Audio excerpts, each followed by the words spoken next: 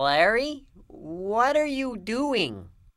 Jeff, watching a little TV, Bob?